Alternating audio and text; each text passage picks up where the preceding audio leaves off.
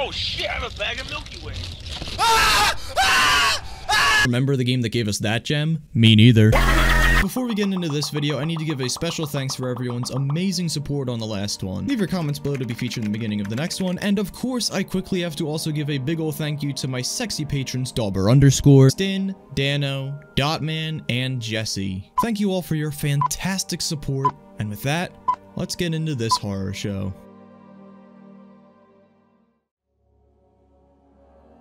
Booting up this game and just sitting right here on the home screen ready to relive this horrific nightmare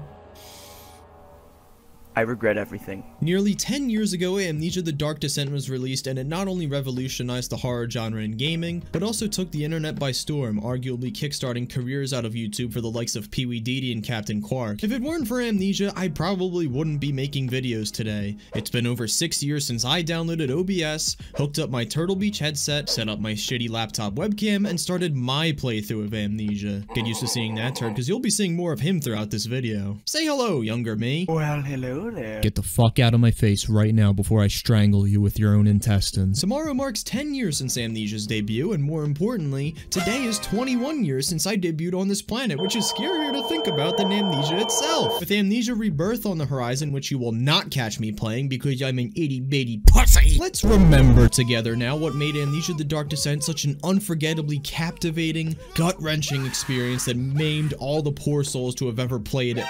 Wait, there's a hard mode?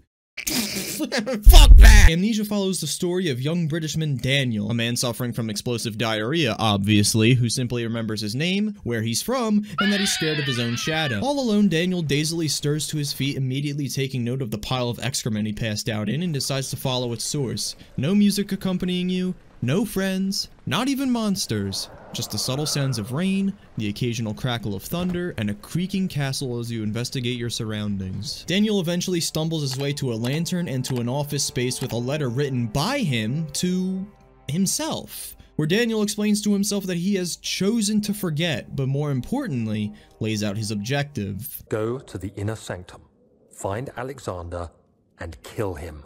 Furthermore, Daniel goes on to state that a relentless shadow is hunting him, and he must escape it for as long as he can. So we must now begin our descent beneath the very stone of the castle, avenge ourselves, and murder the dastardly Alexander of Brennenburg in the inner sanctum. Who's with me?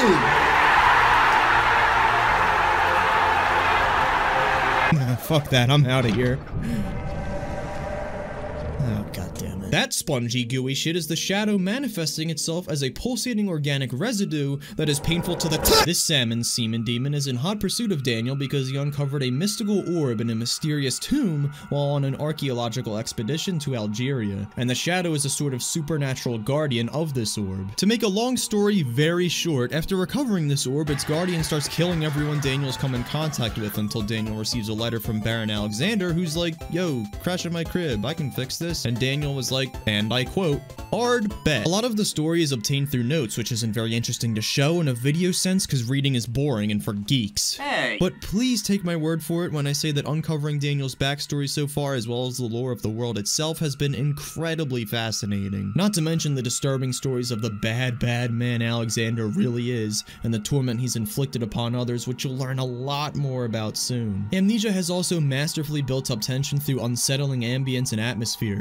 equipped with fantastic sound design and an ominous soundtrack, all of which messing with the player's head and keeping them on the edge of their seat afraid to swing open any door in front of them in fear of what could be lurking behind. Combined with these presentation aspects, Amnesia introduces some ingenious gameplay mechanics, such as tinder boxes which light torches and a lantern which runs on oil. But the most infamous mechanic used in Amnesia is the sanity mechanic, which is literally game-changing. Daniel's sanity can alter to four different levels. The more your sanity drops, the creepier and more unnerving your environment becomes, and you can even hallucinate monsters. Your sanity drops from looking at enemies, witnessing unsettling events, and most brilliantly and despicably, fuck you frictional games, staying in the dark for too long. If you stay in the dark for too long, the game punishes you. If you stay in the light for too long, the game punishes you. Amnesia presents a near constant, spine-chilling, blood-curdling sense of danger no matter where you go or what you do. I am literally trembling here and nothing is happening but I wanted to cry. My body right now is just shaking. What a bitch. This invisible water monster known as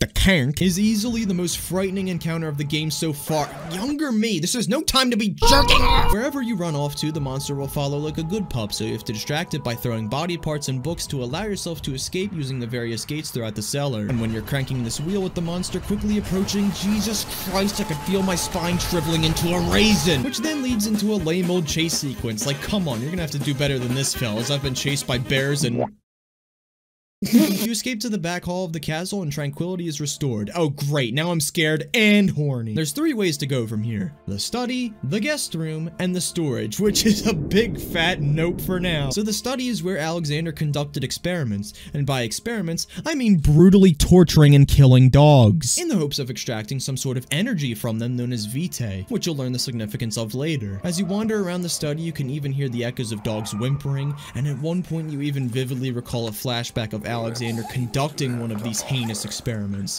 which is just more heartbreaking than words could do justice. And to make things worse, the torture of these poor animals was all for naught as Alexander found their vitae output insufficient, which inspired him to move on to humans to get the energy he required. Dear fucking god, no, no, what we require at this moment is access to the elevator so we can venture further into the depths of Castle Brennan Bob's Burgers. So we retrieve a key from Daniel's old room for the machine room so we can go in and repair the darn thing, but not before being stopped dead in our tracks by a monster, where the game introduces the hiding mechanic, which will obviously come in very, very handy because, oh, that's right, you can't fight back against the monsters. You either hide, run, or die. Speaking of which, welcome to the storage. Oh, hell no. Fuck the storage. This place is consumed by a strange, unnatural darkness, and it is very scary not just cause of that, but because for most players, it will be your first true encounter with a monster besides the croc. All this terrible bull S word is endured just to get some rods to repair an elevator, and then the elevator does its best Tower of Terror impression and rockets downward at approximately 200 miles per hour.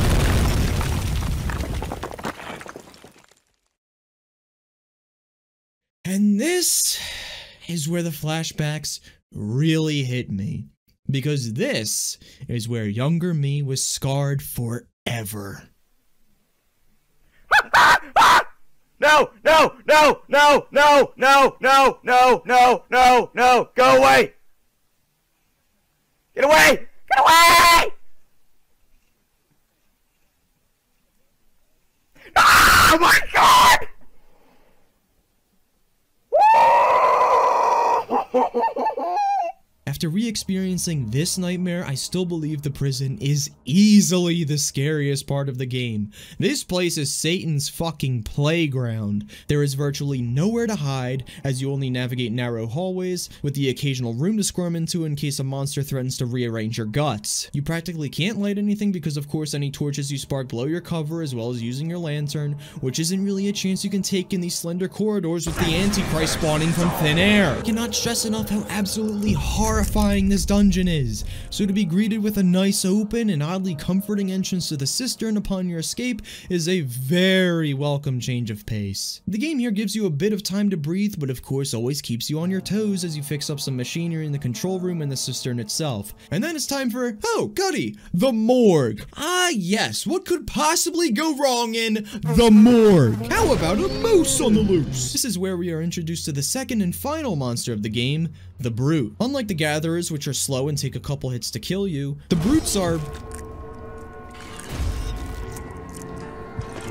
fucking morons. The Brutes are very fast, and if that wasn't bad enough, they can strike you down with a single blow.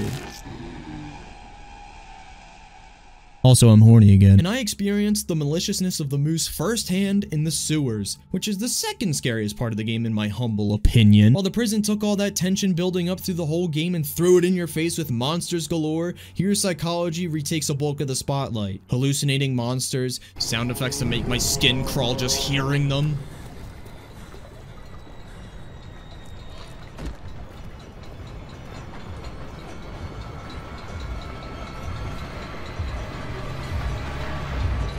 Walking into a room and seeing the monsters who've taunted you for so long sliced in half, Jesus Christ. And that's not even the worst of it, because at the end of the tunnels, you have to distract the Moose Man and run for your life. I hate this game! The sewer leads to what you could consider the final hub area of the game, the Nave.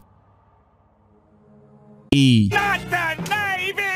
After taking a girthy spiral staircase, you meet Agrippa, who despite practically being a zombie, is the most comforting thing you come across the whole game because he's actually someone to talk to. It turns out he has quite a history with Alexander, as he explains Alexander broke his orb a long time ago when Alexander prematurely attempted to open the portal back to his home world. As Alexander currently has Daniel's orb in his possession, until we put Agrippa's back together, there's no chance of breaching the inner sanctum. So now we have to scout the choir and the transept for the six fragmented pieces of the orb, and both are quite nerve-wracking. Well, the transept is at least. The choir wasn't too crazy. There's my hot take for the day. While areas like the storage, prison, and sewer all provided great scares, the transept was easily the creepiest, eeriest, and thematically darkest out of all areas of the game. What separates the transept from all other sections is the fact that it is so rooted in reality. Well, except for the part where there's sunlight coming through windows. We should be like 2,000 feet below the Earth's surface right now. How are there windows, and why am I questioning this sort of logic in a game about an interdimensional being trying to harness the power of a mythical ore? The transept is where much of the torturing by Alexander and Daniel took place. But why would Daniel torture people? Well, in fear that the shadow was closing in on them, Alexander tricked Daniel into torturing people the Baron claimed were criminals repeatedly with amnesia potions as sacrifices in an attempt to ward off the shadow. But really Alexander was just using Daniel to gather vitae through torture to power Daniel's orb so Alexander could return to his homeworld from which he was banished hundreds of years ago for unknown reasons. These monsters you've seen are actually Alexander's servants, and they gathered, hence their name, humans and threw them in the castle prison for Alexander to perform his experiments on. After running out of prisoners, the duo kidnapped a mother and three children from a farm not far from the castle, and one day one of the children they kidnapped escaped the prison. In fear that she would escape the castle, Daniel chased the little girl all the way up to the storage and murdered her in cold blood. He murdered an innocent child solely to protect himself. And this is the real Dark Descent. Amnesia is not just about evading monsters, it's about a desperate man becoming one as he plunges into darkness in the pursuit of salvation. The immeasurable guilt immediately flooded his body, shattering his psyche. Afraid that Daniel would soon turn on him, Alexander abandoned Daniel and locked himself in the orb chamber ready to begin the ritual which would send him home, leaving the shadow to consume Daniel. Enraged by Alexander deserting him, Daniel swore to kill Alexander for making him a monster. But as his heavy heart was too much to bear, he took an amnesia potion which they normally used on their torture victims victims and instead used it on himself. But before doing so, he left himself a letter to simply kill Alexander when he awakens in the hope of burying his past and redeeming himself once and for all. And that's what makes this the most unsettling section of the game for me. Amnesia the Dark Descent has interdimensional beings, artifacts, and worlds beyond our comprehension. Not to mention the monsters, while scathing, obviously couldn't happen in real life. Then again, 2020's been pretty fucking crazy, so who knows. But torture based off real methods, hearing these people beg for mercy, and the snapping and crackling of bones, the cutting of saws through flesh, and all the guilt Daniel caused himself by becoming someone he absolutely absolutely hates feels so real. And that is really fucking terrifying. And I wish I could say the same about the choir. Look, it's not that this place isn't creepy, alright? It's got all that torture shite and a gnarly jump scare, but what doesn't click with this place for me is how open it is. There wasn't anywhere you could step in the cellar without the water monster ripping into you. The prison made me incredibly claustrophobic with its tight hallways, making me feel suffocated. Then the sewer leaves you no choice but to face the monster and you just have to run for your life. But the choir? Sure, there's some monsters lurking about, but it's the size of a goddamn football field, and as long as you stay close to the walls and behind pillars, you're gonna have no trouble navigating it whatsoever. It just feels a couple steps down from where we've already been, you know? I mean, it it literally is. After retrieving all the orb pieces, you get ambushed by some of Alexander's servants and thrown in a prison cell. Hey, Murray! Fancy seeing you here! Through telepathy, Alexander says that Daniel should stay in the cell and let the shadow claim him, so that it may not devour the whole castle and his sacrifice may allow Alexander to return home safely. If you choose to do this, you'll actually activate an alternate ending to the game, and I almost unlocked it by complete accident because I'm a fucking moron! But of course, I defy Alexander and tell him to suck my interdimensional dong. And after getting chased by the shadow, we return to the nave and the shadow has completely trashed the joint. But before pressing on to the inner sanctum, we conjure up Johann Weyer's tonic. Weyer was Agrippa's apprentice who grew to far surpass his skills. Agrippa, Weyer, and Alexander were all working together to travel to Alexander's home world hundreds of years ago, but Weyer ended up being the first to open the portal and venture there. Alexander did not like this, so he put Agrippa's soul in this thing somehow. So Agrippa asked Daniel to make this tonic so that he could saw off Agrippa's head while keeping him alive and bring Agrippa with him to the inner sanctum so that he may enter the portal and reunite with his long lost apprentice. And we choose to do just that. We take Agrippa's head with us and with Agrippa's orb fully reconstructed, we finally breach the inner sanctum for the long awaited confrontation with the pasty old man as the ritual nears completion. From here there are actually three endings. The bad ending where you let Alexander escape and you just die. The revenge ending where you ruin the ritual by tipping over the pillars, Alexander is consumed by the shadow, and you leave Brennenburg knowing the man who made you a monster has been slain. And finally, the ending I chose, which is where you throw Agrippa's head into the portal to be reunited with his apprentice. This leaves both you and Alexander to be devoured by the shadow, however, Agrippa pleads with Weyer on the other side to spare Daniel's soul, as Agrippa commends Daniel for his noble sacrifice, saying he deserves so much more. And with that, the nightmare is finally over. And god damn it, I loved this nightmare. Despite my fascination with the lore of any horror stories I come across, horror games are in no way my thing to play if that wasn't obvious enough since I've covered nothing but kiddie games. If it wasn't for 13 year old me sitting around watching PewDiePie play Amnesia, I probably wouldn't be where I am today. The dark descent into the Brennenburg Castle wasn't only the conclusion to Daniel's journey, it was just the beginning of mine. Because of this game, it inspired me to make my own YouTube channel. And because of that, I've made some great friends over the years, formed wonderful memories, and along the way, we've built a nice little loving community here too. YouTube has become so ingrained with who I am that I don't feel like me anymore without it. And that was made very evident to myself when I stepped away from this for practically three years in 2016. Because you could call my return in 2019 my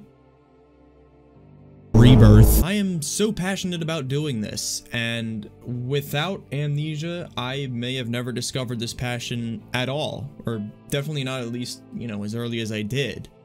I would just like to take the time to thank all of you who have been watching me, some of you for years, you know, those who still support me, those who have just found me recently, uh, anyone who's just left a comment, a like, a dislike, you know, good comments, bad comments, They've all made me who I am today. They've all made me the content creator I am today. And last but not least, I would just like to give a big, big, big thank you to Frictional Games for creating such an unforgettable masterpiece. And with that said, and I mean this with the utmost respect and all the love in my heart, I am never playing this fucking game ever again.